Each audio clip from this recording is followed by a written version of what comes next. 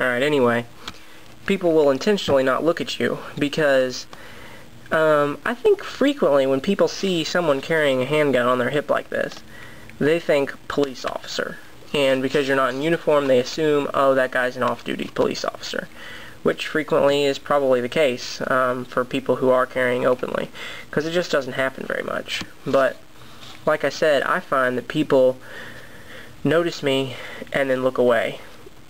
However, you never know what's going to happen. Also, there's um, frequently people don't know their just like law enforcement sometimes don't know the uh, local laws and regulations regarding handguns um, or the state laws and whatnot about your carry of firearms. Frequently, companies' employees do not know the company's policy about carrying firearms.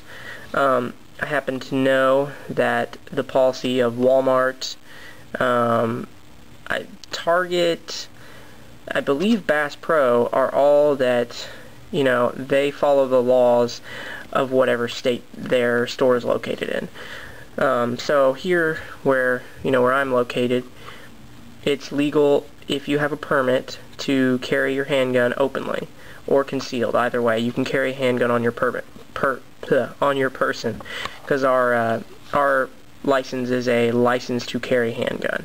It's not a concealed carry license; it's a license to carry. So you can't carry open unless you have one, but if you have one, you can carry that pistol any, well, you, any, any way you darn well please, um, open or concealed. But uh, frequently I find that employees of these stores don't necessarily know the uh, their company's policies. Um, I know Bass Pro Shop, their policy is that they allow the carry of concealed weapons um, in states that allow the carry of concealed weapons.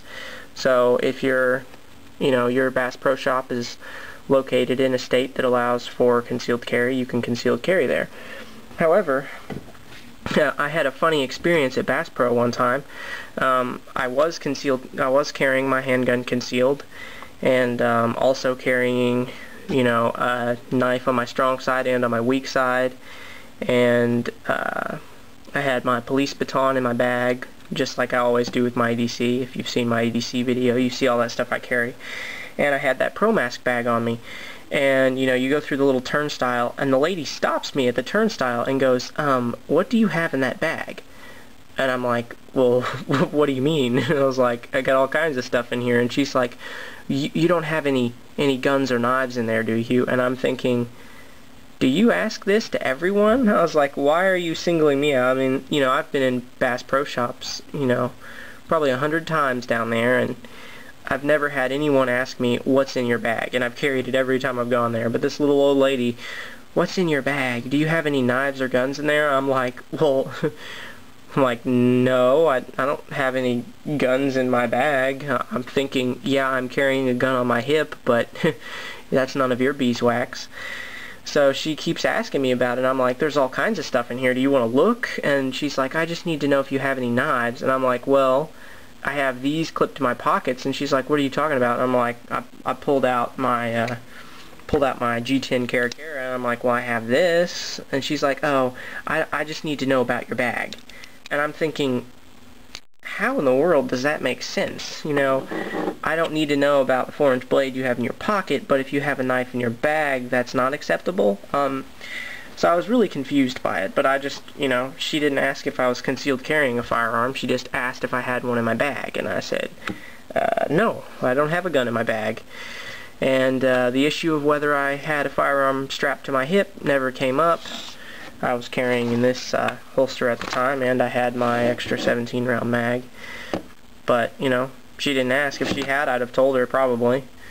But, uh, she didn't ask about that, so I said, nope, got no guns in my bag, and, uh, she was like, alright, I went through. And then I'm thinking, so, do you ask this to all the women who come in with purses? And I'm sure that, you know, of course, this little old lady doesn't ask every woman who comes through with a purse, do you have any guns or knives in your bag?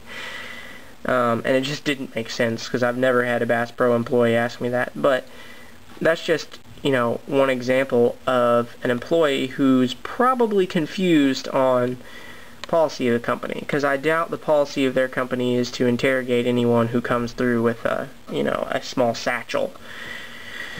Um, because you just don't do that. I mean, who in retail interrogates people that come in with satchels? I mean, it's one thing when you go to a stadium full of, you know, thousands of people, but a Bass Pro Shop, I mean, and it's a store that sells guns and knives, so just didn't seem logical to me.